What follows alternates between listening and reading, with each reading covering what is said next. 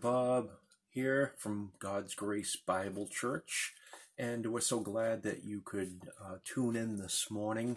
As you know, our nation, especially our state in certain areas, uh, have been overtaken by the COVID 19 coronavirus outbreak. Now, personally, uh, I don't take too much of this whole thing. But there are elderly people in our population. There are people susceptible to uh, the disease and, and the effects of it.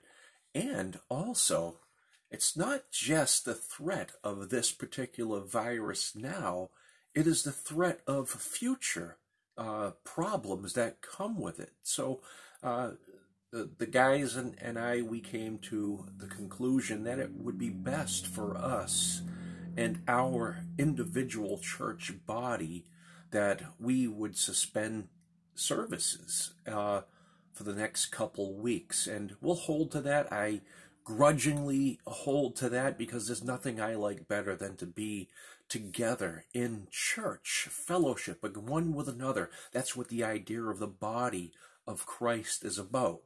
However, I also don't think that we should be tempting God. If we know things could be a problem, we ought to avoid it. If it's going to be an ice storm on, in winter, uh, don't come to church. If you want to come to church, do so. Yeah, I usually do not cancel for snowstorms, uh, mainly because I'm out in it all the time and everything. I will show up, and you never know who's going to show up. But this particular instance, uh, I think it's a little different than anything that we've seen in history. And yes, quite possibly, you know, it could all blow over. It could be just a, a government scheme. But I'm going to lean on the side of cautious of caution, and and and treat this as some have looked at it as a leak of a bioweapon, which could do uh, you know, more things in the future. So that's that's the route I'm taking, or we're taking, uh, in this situation. You know, uh, it's why tempt fate, uh, and it's I don't think it's chicken to not have church services. Uh, you know, after all, are we saved by attending church, or are we saved by grace through faith? And I'll go with the latter, by the way and and also uh, should we go to church whenever possible yes indeed but there are circumstances in which to stay home and uh, this is a good time i think social uh, separation or whatever they call it i think that's a good thing with a virus like this that's circulating around if you don't have to come into contact with people uh, don't do it. That's the, those are wise things. Wash your hands, all those precautions. Uh, but yet, I, I think it was wise for us to have to have uh, canceled uh, services. I hate using the word canceled uh, because you know it's just something I don't like. But however, uh, it has been done, which is the which is the subject of of our message today, the message today that we have is from First Peter uh, or Second Peter chapter number three, and and first off, let me go with a couple things. Of course, we're looking at uh, not being in church today as we're watching this, and next Sunday uh, when we have Brother August Rosado uh, scheduled to be with us, we'll we'll we'll we'll reschedule with him. And then the, the following week would be uh, uh, the first of April, and Lord willing, uh, everything will be back to normal or quite uh, to normal, and we'll have our communion service. And just for uh, just for safety, uh, we'll we'll just have coffee and afterwards and everything. Uh, don't worry about having our fellowship dinner that day. So I, I think that's a safe thing to do. And then on April 12th is Resurrection Sunday. And uh, we'll plan on, on going forth with that. And uh, what better way to celebrate the resurrection of Jesus Christ than uh, than having that service specifically looking at the resurrection. And uh, another thing, if Christ be not risen from the dead, our faith is indeed vain. Amen. So let, let's go to another song right now and, and then we'll be right back and, and we'll pick it up with our message this morning.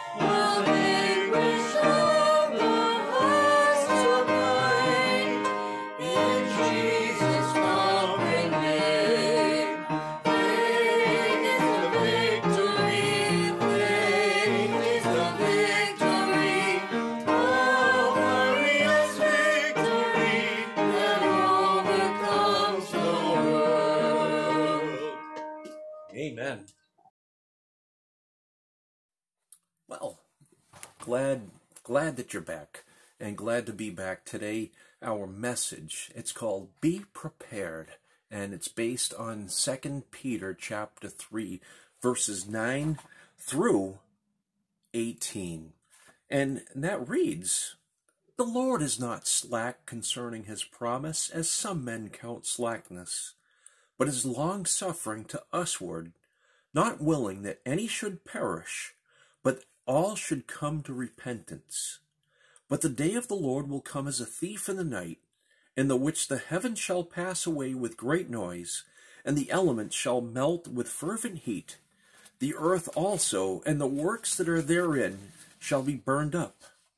Seeing then that all these things shall be dissolved, what manner of persons ought ye to be in all holy conversation and godliness, looking for and hastening hasting unto the coming of the day of God, wherein the heavens being on fire shall be dissolved, and the elements shall melt with fervent heat. Nevertheless, we, according to his promise, look for new heavens and a new earth, wherein dwelleth righteousness. Wherefore, beloved, seeing that ye look for such things, be diligent, that ye may be found of him in peace, without spot and blameless and account that the long suffering of our Lord is salvation, even as our beloved Paul also according to the wisdom given unto him hath written unto you, as also in all his epistles speaking in them of these things, in which are some things hard to be understood, which they that are unlearned and unstable wrest, as they do also the other scriptures, unto their own destruction Ye therefore, beloved, seeing ye know these things before, beware lest ye also, being led away with the error of the wicked, fall from your own steadfastness. But grow in grace and the knowledge of our Lord and Savior Jesus Christ. To him be glory, both now and forever. Amen. And dear Lord, we just pray that you would bless this time that we have together. And we do pray that, that we would just look at your word as being sufficient for all of our needs, for all of our salvation, sanctification, and glorification. And, and, Lord, we just pray that you would have your will and your way with us this morning. And it's in Jesus' name we pray. Amen. Amen. Uh, one thing I want to look at this morning is I, I called this message Be Prepared. And oh, one thing that this whole coronavirus outbreak has done, it has showed how much we as Americans are unprepared. We're unprepared to face anything that comes our way. I hope you, as a believer, are prepared that when trials come, that you are, are grounded in the Word of God and that you grow in that Word of God as Peter exhorts believers to do. That's our only hope. But yet, through our production systems and, and our import and export policies, we have made it so that most Americans in the supply chain along the line isn't really prepared for the future.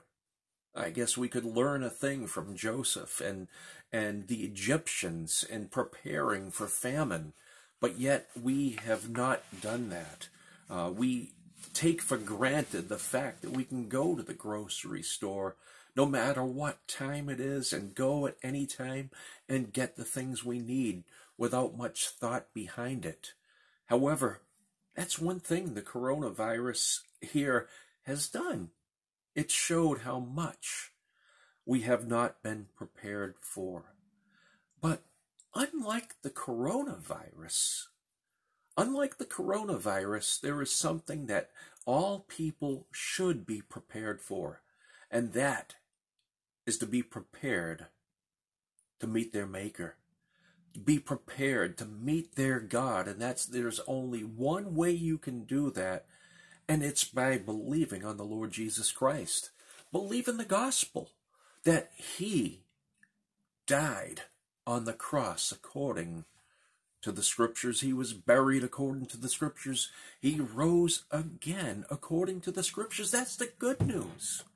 Believing that is what gives you your place to have your sins forgiven and also to go to heaven.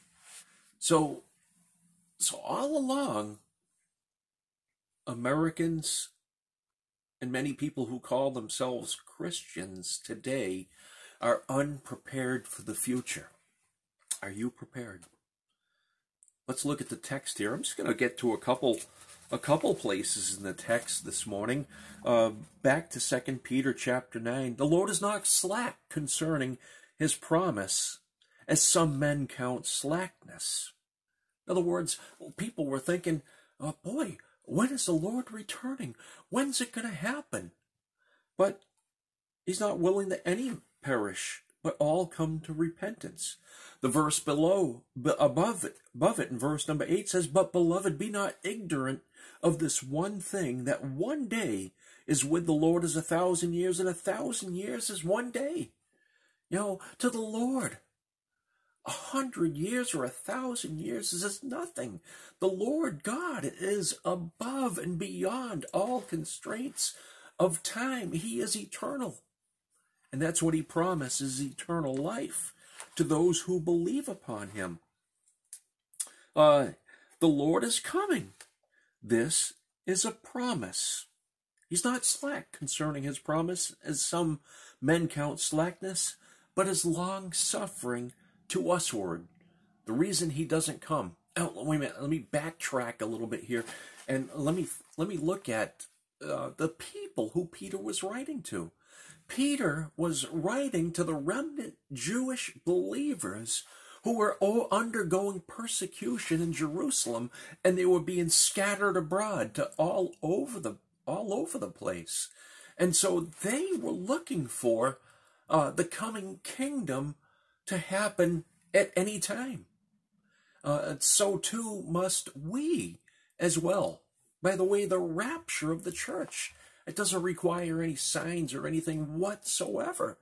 So they were looking for through that persecution, they were they were to expect that the Lord would be coming at any time. But there's that warning: one day with the Lord is a thousand years, and a thousand years is as is a day.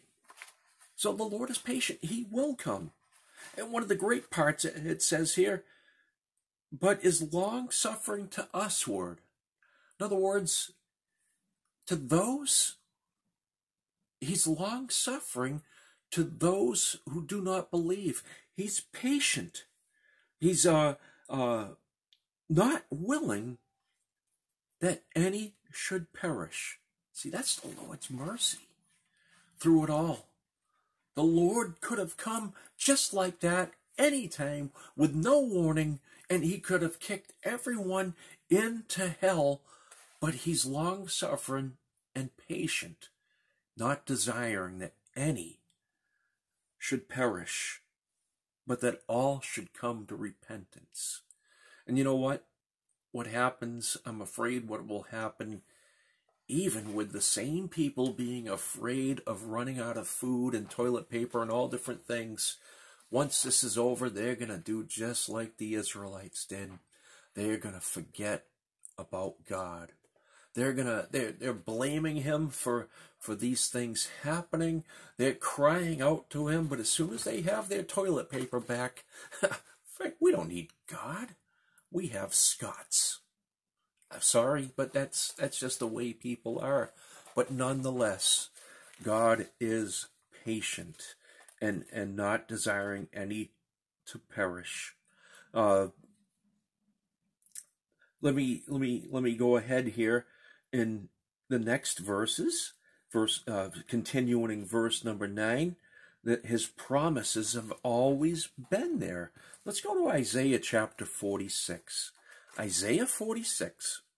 I'm using my, just because of my vision, I'm using my, my tablet, so I'm a little slower still. Isaiah 46, and I'm not going to read the whole chapter as I, as I like to do. Isaiah 46. Let's see where we're going to go to. We are going to go to uh, verse number 9. Verse number 9 through 18, verses number 9 through, oh, I'm sorry, verse 14. Remember the former things of old, for I am God, and there is none else. I am God, and there is none like me. See, God, he's going back and in this prophecy, dealing with the judgment of Israel, he's still pleading with the people to remember him, uh, that he is God. There's no other God. The top of the, the top of the chapter deals with people bowing down to idols. Well, let's go back there. Let's go back there. Verse number one. Uh, Bel boweth down, Nebo stoopeth, their idols were upon the beasts and upon the cattle, your carriages were heavy laden. They are a burden to the weary beast. They stoop, they bow down together, they could not deliver the burden, but themselves are gone into captivity. Hearken unto me, O house of Jacob, and all the remnant of the house of Israel, which are born by me from the belly, which are carried from the womb and even to your old age I am he, and even to hoar hairs will I carry you. I have made and I will bear, even I will carry and will deliver you. He's talking to the, the nation of Israel here about this. To whom will you liken me and make me equal and compare me that we may be like? They lavish gold out of the bag, and weigh silver in the balance, and hire a goldsmith, and he maketh it a god. They fall down, yea, they worship. They bear him upon the shoulder. They carry him and set him in his place, and he standeth. From his place shall he not remove? Yea, one shall cry unto him, yet can he not answer, nor save him out of his trouble. So that's any idol. I think of it as though they carry him on his shoulder. I think of the Marian processions that still take place uh, around around the world. They carry a statue of Mary uh, on their shoulders, and, and people throw money at this statue and all kinds of things, praying to it that, that this could bring them their peace and prosperity. Now we go to verse number 8. Remember this, and show yourselves men, bring it again to mind, O ye transgression, aggressors. The answer to get away from idolatry, as well as getting away from sin, even if, even in our day, is verse 9. Remember the former things of old, for I am God, and there is none else. I am God, and there is none like me. Christian, this doesn't directly apply to you. However, however, if you have lost sight of who God is, if you don't have joy in your salvation, if you are having trouble in your faith, remember this. Remember the former things of old. What's the former things of old? Remember the day of your salvation. Remember when you called out to Jesus Christ, when you accepted his gift of salvation. The former things of old, for I am God. You know, God has never quit being God. He is still God no matter what. He is eternal no matter what. And there is none else. I am God, and there is none like me. Verse number 10 declaring the end from the beginning, and from ancient times the things that are not yet done, saying, My counsel shall stand, and I will do all my pleasure. See, that's dealing with the promises, the Abrahamic covenant, the Davidic covenant, the, the regathering of Israel and, and the millennial kingdom altogether.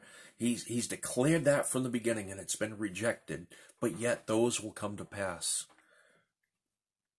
Calling, calling a ravenous bird from the east, the man that executeth my counsel from a far uh, country, yea, I have spoken it. I have spoken it I will bring, I will also bring it to pass. I have purposed it.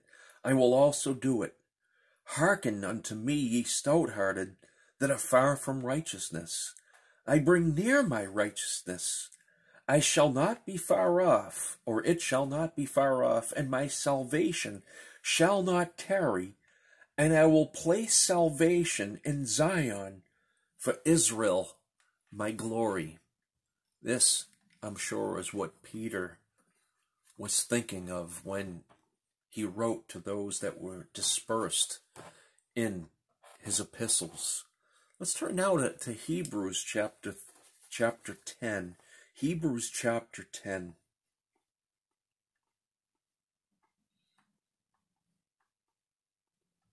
Oh, but isn't that a great chapter? I think if you read read all through uh, the book of Isaiah, you'll find so many, uh, so many blessings, especially prophetic blessings upon Israel mostly. That's why you need to rightly, rightly divide the word of God of what pertains to us and what pertains to Israel, etc. Uh, verse, let's go. I was going to go to verse 37. Let's start off with verse verse 35 through the end of the chapter, Hebrews 10 35 says, Cast not away, therefore, your confidence, which hath great recompense of reward. In other words, don't lose sight of the confidence and faith in Christ. For ye have need of patience. Oh, don't we all? One thing that is dangerous to do is ask the Lord for patience, even though you need it. for ye have need of patience, that after you've done the will of God, you might receive the promise. For yet a little while, and he that shall come will come, and will not tarry. Coming again, coming again. Oh, what a wonderful day it will be. Jesus is coming again. Sorry for offending you with my singing, but that's a reality. He's coming again. It'll be a little while. Have patience. One day is a thousand years, and a thousand years as a day. Look at verse number 38. Now the just shall live by faith. But if any man draw back, my soul shall have no pleasure in him. What is this faith in? Is this faith in church or pastor? Faith in the economic system, the government system? Faith in yourself? That seems to be the growing trend. You need a lot of faith in yourself. God's dream you need to have for yourself, and, and God will fulfill it in this life. No, our faith is in Christ. It's a steadfast faith. It's a sure faith. It's a faith that will not go away. A love that will not let me be. That's a love that will not go away. Now look at verse number 39 before we move on back in 2 Peter. But we are not of them who draw back into perdition, but uh, to into perdition. You know, we're not going to be damnable. We're not going to be unsaved, but of them that believe to the saving of the soul. The saving of the soul deals with sanctification. It deals with the finished work of Jesus Christ. You have it all in Christ Jesus. Have patience. He's coming. No matter what we're going through COVID 19, surgery, uh, a broken arm, a broken leg, persecution, no matter what, patience through those things. This is what Peter's audience was going through, going through the persecution taking place in Jerusalem. And they were looking for a better place to go. They were looking for a heavenly city, the new Jerusalem. But yet they would be scattered around. And, and a few years later, all of the nation of Israel will be scattered around through all of the world until 1948, where the, they would begin being regathered back to their land. Oh, the promised land is still the land of promise. And the land of promise is still the promised land. Let's go to uh, uh, Isaiah chapter 30 while we're here. He's not slack concerning his promises, and he's long suffering. Isaiah 30, and again, as I'm scrolling through here, I'm just thinking how good the Lord is. Isaiah 30. I'd much rather a paper Bible, but uh, however, this does it because I can see it better. Isaiah 30, in verse number, I'm planning on going to verse number 18. Isaiah 30,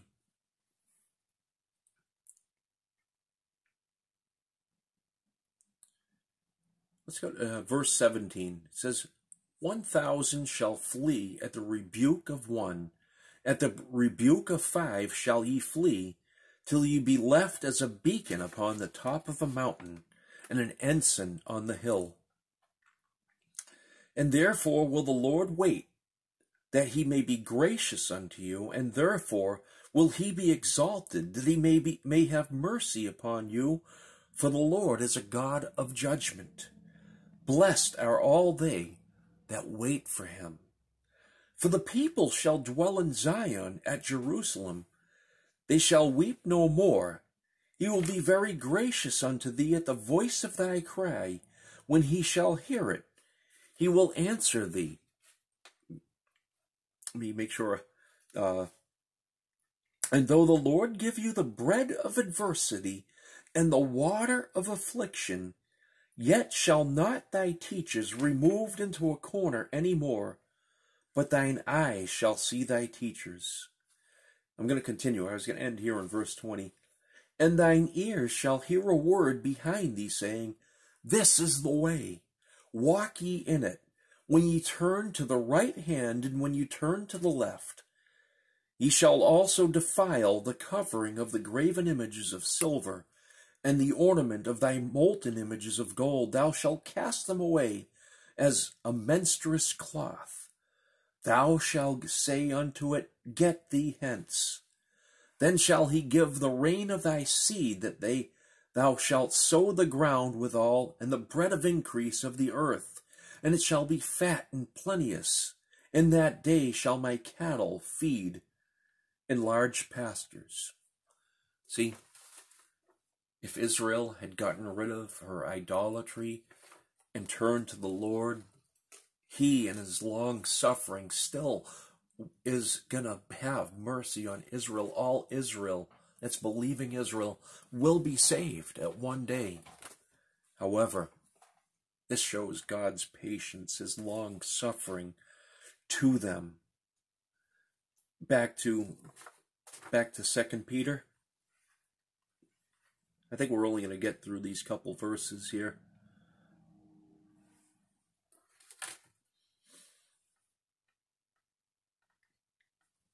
He's not slack, as some men count slackness, but he's long suffering to usward. The usward there were those believers, those believing, uh, those believing Jews who were being persecuted. Look, he's going to have his way with us. And also for us Christians today, he is long suffering to usward as well. Do you know that God does put up with you? You know, if salvation were counted or based upon your performance, you wouldn't have it. That's a fact. But it's not based on us, it's based on receiving the gift of salvation. That's why God is patient. He did all the work. He knows what we go through. He knows our trials. He knows our griefs and pains. He knows it all. Believer, why don't you trust Him today? You've trusted Him for salvation. Did you know that sanctification and glorification are part of that same package? Amen. What a glorious thing that is. It's not separate. You don't believe the gospel and then submit yourself to the lordship of Christ and, and have to work for that salvation. It's all together. Amen. He's patient with us. So when you've blown it with certain sins, the the idea is you can't make it up to God. Simply turn to Him. Simply repent. Trust Him through it all. Let's continue with, with the passage. He's long suffering to usward, not willing that any should perish. That's the will of God for all people. That's the will of God for the entire human race. Let me read that again. Not willing that any should perish. That's why the, the Calvinist doctrine of election is so off. He, he desires all to come to repentance. Let's go to the book of Romans for a second. Book of Romans, chapter number two. And again, this is another one. I'll try not to read the whole thing, even though I think it's important.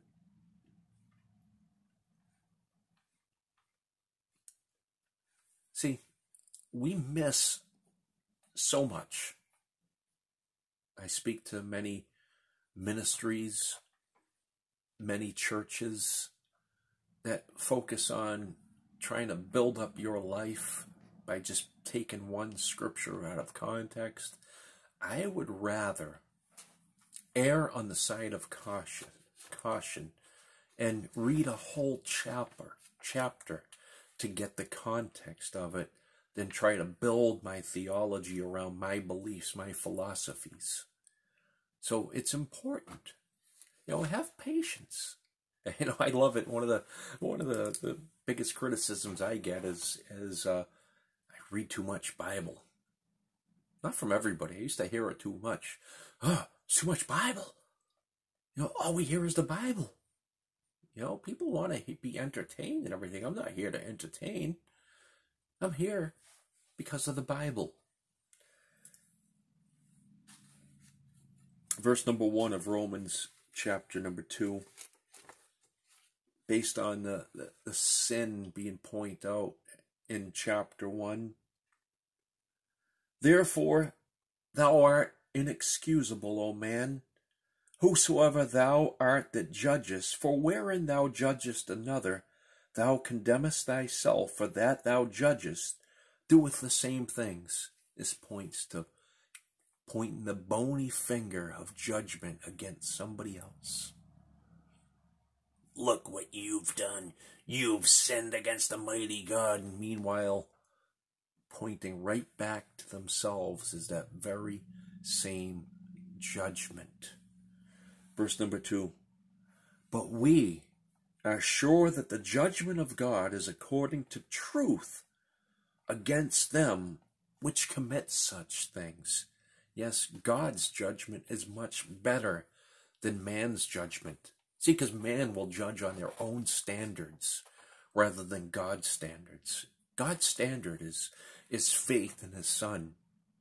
The love that he has for mankind is his standard.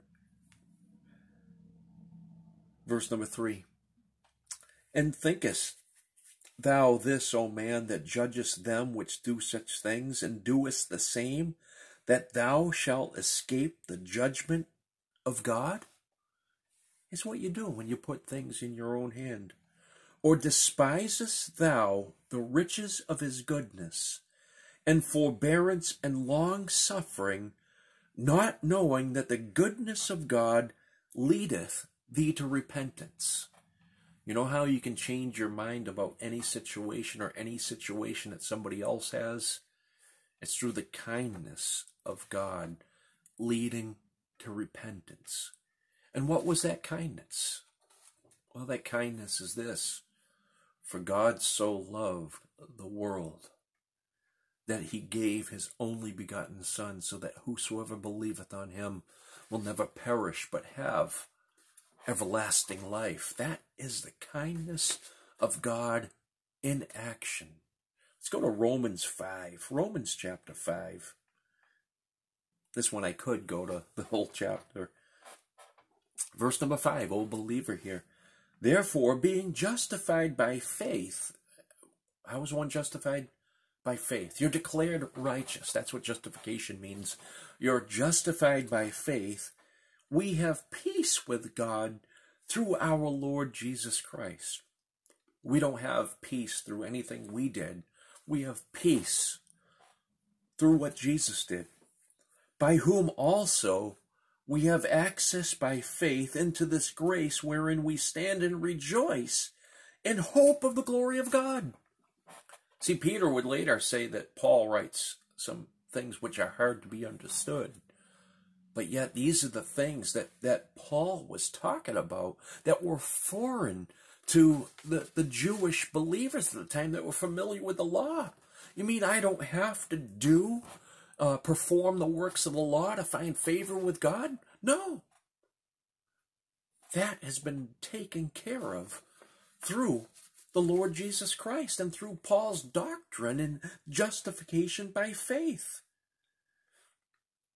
And not only so, but we glory in tribulations also, knowing that tribulation worketh patience, and patience experience, and experience hope, and hope maketh not ashamed, because the love of God is shed abroad in our hearts by the Holy Ghost, which is given unto us. Oh boy, that you could put that right in in Second Peter about the patience and look into the, the, the coming of the Lord. Just just hold on to that. And love oh wrong verse. For when we were yet without strength, in due time Christ died for the ungodly. I like how Paul doesn't say that yet when in this particular place that we were totally dead. We were without strength. We had no power to, to save ourselves. We had no power to forgive our sins. The same time Christ died for the ungodly. You know who the ungodly was? If I had a mirror, I'd put it up. The ungodly is me. The ungodly is you. The ungodly is everyone who is separated from God like Adam was separated from God. You are tainted. You are a sinner. That's not, not too popular these days. I don't care who you are. Some people say, no, don't call a, a person that's a believer a sinner. Well, guess what? You're at the same time, you're a saint and sinner. You still sin, but yet you've been forgiven of those sins and you'll be free. You've already been freed from the penalty of sin through Christ. And through sanctification, you're being freed from the power of sin. That's an everyday part of sanctification, but that's part of the package of salvation or justification. And one day, oh, one day, could be today, be with the presence of the Lord and you'll be free from the presence of sin. No longer will you have sin. Like the reason I have glasses and diseases and gray hair and wrinkles and and all these things is because of who I am. I'm a sinner. I'm made after the image of likeness of Adam. I'm going to die physically one day. Could be today. That's the same for everyone those that don't have, that have an expectation that they're going to live forever on this planet and they're going to find the great cure for their, their diseases, they, they have no clue with what the doctrine of man, the doctrine of sin is all about. Let me continue here, or else I, I'll I'll go for another hour or two, which I have all the time in the world. I don't really care. For when we were yet without strength, in due time Christ died for the ungodly verse 7 is is this kindness or long suffering of God in action and his desire for all to come to repentance. For scarcely for a righteous man will one die, yet peradventure for a good man some would even dare to die. But God commendeth his love toward us, in that while we were yet sinners, Christ died for us. Much more than being justified by his blood, we shall be saved from wrath through him. See, the blood justifies, his resurrection sanctifies. And because of that, is no wrath that will come upon him. The wrath will come upon the world. The wrath will come upon those who don't believe in Christ.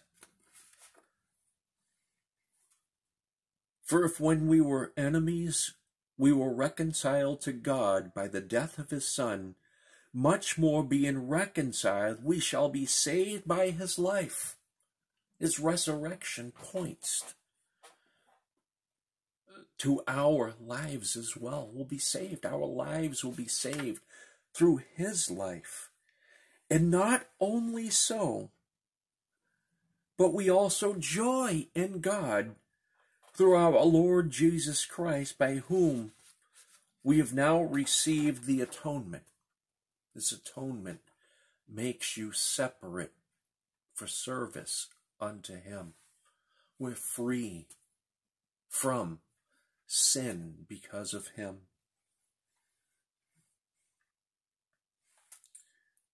I think I have to continue here and, and not get to uh, verse number 10. I almost said I'm sorry, but I don't apologize for that. Amen. Um, Wherefore, as by one man sin entered into the world, and death by sin, and so death passed upon all men, for that all have sinned. All. Everyone. For until the law, sin was in the world, but sin is not imputed when there is no law. Nevertheless, death reigned from Adam to Moses, even over them that had not sinned, after the similitude of Adam's transgression, who was the figure of him that was to come. I always like to think of that. Uh, I think of the uh, until the law, sin was in the world, but sin was not imputed when there is no law. That would be like driving a car through the Bonneville Salt Flats, and there's no speed limit there. You can drive 200 miles an hour through those salt flats. You know, that's where they test a lot of speed cars and stuff. 200 miles an hour.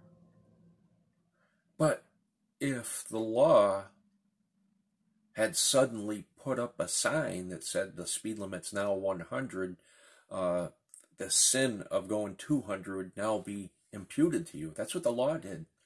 Sin was in the world, but it wasn't it wasn't imputed to, to men or put on man's account because the law wasn't there.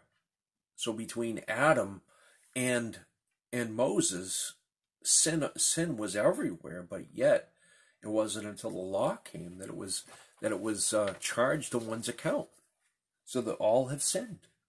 You know, God took care of those things through floods and you know the scattering of the people in Babylon uh, from Babel, etc. You know, God had His way with that, but after that, after the law came, there's no excuse for for man any longer, or especially the nation of Israel under the Mosaic law. But not as the offense, so also is the free gift. For if through the offense of one many be dead, much more the grace of God and the gift by grace, which is by one man, Jesus Christ, hath abounded unto many. So sin through Adam came upon all, and Jesus Christ hath abounded unto many. In other words, not everybody is saved. There's no such thing as universalism, but the, the many are those who receive, who repent, and receive the free gift of salvation through Jesus Christ. God will not force his hand upon you. Uh, let me keep on going. Not and not as it was by one that sinned, so is the gift, for the judgment was by one to condemnation. But the free gift is of many offenses unto justification. See, the free gift of salvation through what Christ did leads to justification, being declared righteous through the one. For if, verse number 17, for if by one man's offense death reigned by one, much more they which receive abundance of grace and of the gift of righteousness shall reign in life by one, Jesus Christ.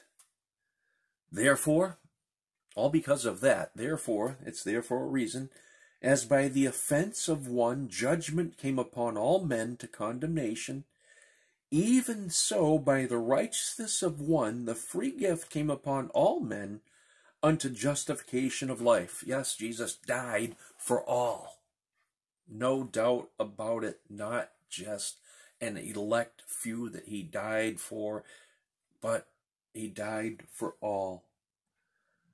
For as by uh, for as by one man's disobedience many were made sinners, so by the obedience of one shall many be made righteous. Moreover, the law entered that the offense might abound, but where sin abounded, grace did much more abound. That as sin hath reigned unto death, even so might grace reign through righteousness unto eternal life by Jesus Christ our Lord. And to that I say, Praise the Lord for that. See, sin is upon every man. We can't help it. We're just like Adam. We choose sin. It's a natural thing for us to do. That's what the natural man does. However, the remedy is not to obey the law. The remedy is faith in Jesus Christ, our Lord. You know, perhaps perhaps you're watching this, you're you're looking around, your church like ours isn't meeting today and you've strayed upon this YouTube channel or Facebook uh, live or or whatever however we let me get the words out however you've gotten here perhaps you realize that you're of the many who are under the sin of one, namely Adam. Perhaps you are going through trials and tribulation. You don't know any way out of it. Well, first of all, uh, the earthly trials happen to everyone. The idea is that you can have peace through those trials through Christ Jesus. But the main thing is that what you need is to be forgiven of your sins and go to heaven. Amen. That's the, the greatest you need. That go a lot longer than, than toilet paper or or bread or, or Lysol wipes in this day and age we're in right now eternal life. It's a reality.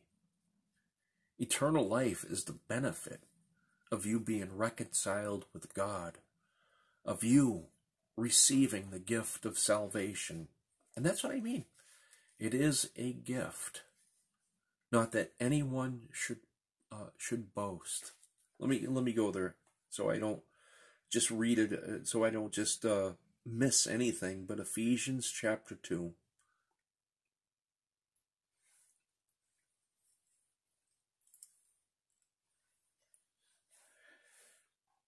Verse number one says, And you, he's talking to, to believers here. But this is what, what the believers were getting a reminder of what made them believers. And you hath he quickened who were dead in trespasses and sins, wherein in time past ye walked according to the course of this world, according to the prince of the power of the air, the spirit that now worketh in the children of disobedience, among whom also we all had our conversation in times past in the lust of our flesh, fulfilling the desires of the flesh and of the mind, and were by nature the children of wrath, even as others. But God, who is rich in, in mercy, for his great love wherewith he loved us, even when we were dead in sins, hath quickened us together with Christ. By grace are ye saved, and hath raised us up together and made us sit together in heavenly places in Christ Jesus, that in the ages to come he might show the exceeding riches of his grace and his kindness. Is that kindness once again? Toward us through Christ Jesus. For by grace are ye saved through faith and that not of yourselves, it is the gift of God, not of works, lest any man should boast. And believe it or not, if it weren't a gift from God, many men would boast. Look what I did. This was a, a, a this is a picture of the apostle Paul while he was Saul of Tarsus, and that's a, subject for another day. He'd say, "Look at me. I'm the Pharisee of Pharisees. And he had to count all that as dung for the excellency of Christ Jesus. So it's a gift.